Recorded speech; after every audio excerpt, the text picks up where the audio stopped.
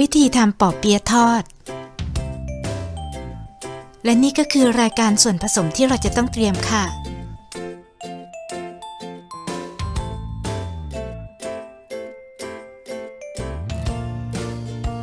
ขั้นตอนแรกเราจะมาทำการผัดไส้ปอเปี๊ยะกันก่อนนะคะนำกระทะตั้งไฟ ใส่น้ำมันลงไป ตามด้วยกระเทียมสับค่ะ จากนั้นผัดให้กระเทียมหอมและออกเป็นสีเหลืองเล็กน้อยนะคะ เสร็จแล้วใส่เห็ดหอมสับลงไป ผัดให้หอมเข้ากันกับกระเทียม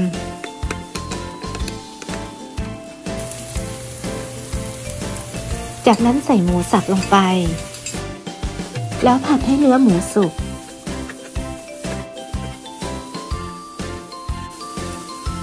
ใส่วุ้นเส้น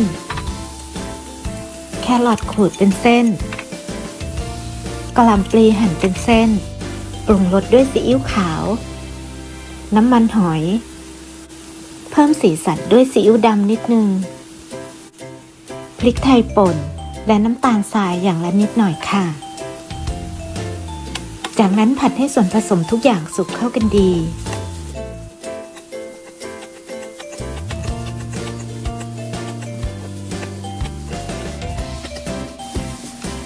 ร็จแล้วลองชิมดู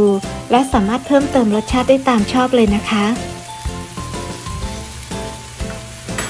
จากนั้นใส่ต้นหอมซอยลงไป ผัดให้เข้ากัน เสร็จแล้วปิดไฟเตาได้เลยค่ะ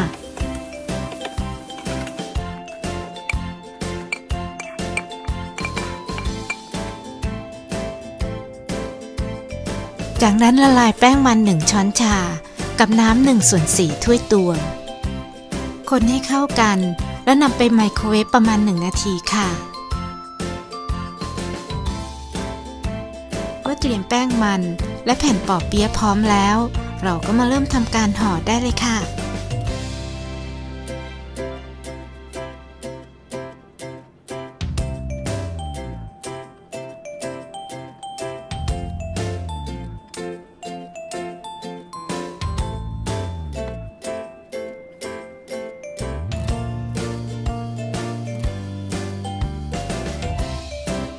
เมื่อห่อเสร็จแล้วนำลงไปทอดในน้ำมันร้อนปานกลาง ในระหว่างทอดให้กลับด้านบ่อยๆ จนกระทั่งเหลืองกรอบนะคะ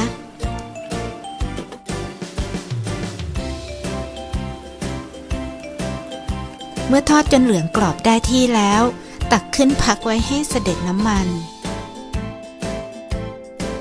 จากนั้นจัดใส่จาน พร้อมกับน้ำจิ้มปอเปี๊ยะ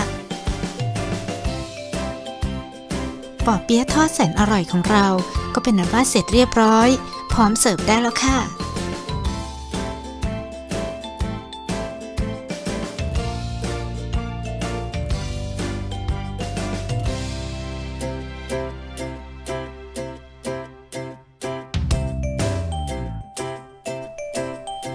ขอบคุณค่ะสำหรับการรับชม